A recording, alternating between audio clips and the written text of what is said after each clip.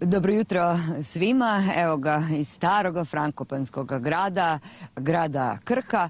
Iza mene prepoznatljive vizure, Krčki zvonik, e, Biskupski dvor.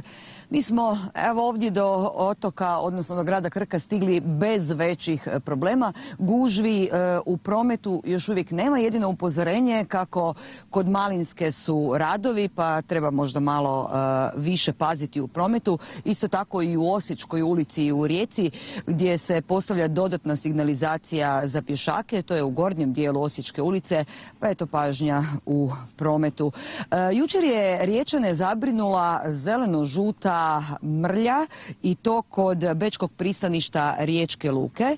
Odmah su sve nadležne službe izašle na teren. E, pretpostavlja se kako je do mrlje došlo zbog e, puknuća odvodne cijevi, a ne zbog nasipavanja Zagrebačke obale kako su mnogi Riječani pretpostavili. Iz Luke nam kažu kako će i danas pratiti situaciju, no da straha i prevelike brige nema. Još jedna vijest što se tiče naših otoka, naime Mali Lošinje prvoga bi srpnja mogao biti povezan hidroavionskom e, vezom sa kopnom i prema destinacijama poput Raba, Novalje, Splita, Pule i Rijeke. E, upravo je krenuo rok za prikupljanje koncesija. Pa eto, još jedan način kako što prije doći do naših prekrasnih e, kvarnijskih otoka. Ukoliko to ne želite učiniti e, avionom, možete primjerice i biciklom. To će napraviti i naši gosti koji će biti sa nama kroz nekih sat vremena u sljedećem javljanju. Naime, oni će kroz četiri dana spojiti četiri kvarnerska otoka. A mi ćemo se malo odmoriti što je ljepše nego ovako sjediti uz more, pa ću ja malo ovako sjesti, pa onda polako put našeg sljedećeg javljanja. Svima lijep pozdrav iz starog frankopanskog grada Krka. Dobro jutro još jednom, da dobro si rekla Sanja, mi smo u Baški na otoku Krku i imamo jako dobar razlog za to. Ovako, četiri dana, četiri kvarnerska otoka, uživanje u sportu, uživanje u prekrasnoj prirodi i to zahvaljujući ideji koja se ove godine po prvi puta rodila. Dvistotinjak biciklista, četiri će dana obilaziti Kvarnerske otoke. Zašto i kako zna Tomislav, kojem želim dobro jutro. Dobro jutro.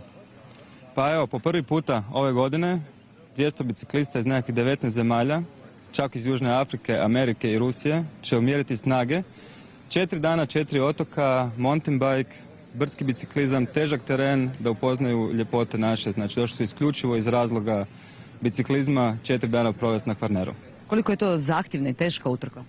Pa recimo nije zahtjevna kao najteže utrke koje postoje takvog tipa na svijetu, ali teren će biti totalno drugačiji nego što su ti biciklisti mogli doživjeti u svojim zemljama. Znači krčki kamen, znači planine koje vidimo i u okolici pružaju jedan neopisiv doživljaj biciklizma. Danas biciklisti cijeli dan ostaju na otoku Krku. Rekli su mi da zapravo ne trebaš biti profesionalac, ali moraš biti ipak malo pripremljeniji amater.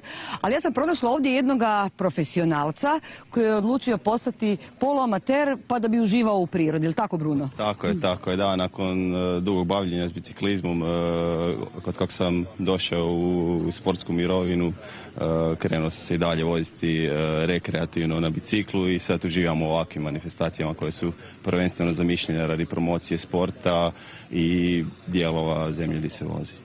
E, ova utrka ima još jedan e, zapravo razlog i povod zašto su je organizirali. E, kada prođe uskrs, to je zapravo i početak turističke sezone, pa evo na ovaj način dosta se krčki, lošinski i creski rapski kapaciteti mogu koristiti, oni u hotelima naravno. Ovdje su dvije dame, Tea, možda bi bilo puno bolje da sam ja Teji recimo dio njezinog tipa, barem po frizuri, ako ništa drugo, ali mislim bolje da je Inga tu što se tiče e, sportske spreme, ipak treba četiri dana biciklirati. Te jesmo spremni? Pa ja se nadam da jesmo. što to znači ja se nadam da jesmo? Napravili smo sve što je bilo u našoj moći, trenirali, hranili se, sad ćemo vidjeti je li to sve skupa. Koliko ste se pripremali za ovu utrku? Pa evo, ja, konkretno, pa jedno dva mjeseca, ali mislim nije da smo krenuli iz nule, nego samo ciljano za ovu trku zadnjih dva mjeseca. I misliš da četiri dana neće biti problem, e, izdržati. Nisu baš e, putevi po kojima se krećete onako bezazleni, iako kažu da mogu i amateri voziti ovu utrku. Da. Ne, ne mislim uopće da će biti jednostavno, zapravo se dva dana ne bojimo, a zadnja dva dana prema njima imamo neki respekt, ali što se tiče terena to znamo, to smo sve pretrčali, pa evo sad idemo vidjeti kako je to sve skupa proći s biciklom. E, Start utrge je točno u 10 sati, kao što sam rekla, danas su biciklisti cijeli dan na otoku Krku, pa onda redom e, Rab, Cres i Lošinj. Mi možemo poželjeti sretan put, a koliko god ti Sanja rekla da ću ja voziti ovu biciklističku utrku, ja neću. Imam ja onih nekih mirnijih poslova za obavljati. Ja bi te rado zamijenila Ivana, obožavam vožnju biciklom. Ali možda ne utrku, evo priznajem. Ali vidiš Ivana kako je tvoja frizura postala popularna i kako ju čak i biciklistice već e, lagano imitiraju. Frizura Da. postojana. Hvala lijepa za jutros. Pozdrav svim, uvjetima. pozdrav svim biciklistkinjama. Uživajte u Baški koje je lijepo mjesto na otoku Krku.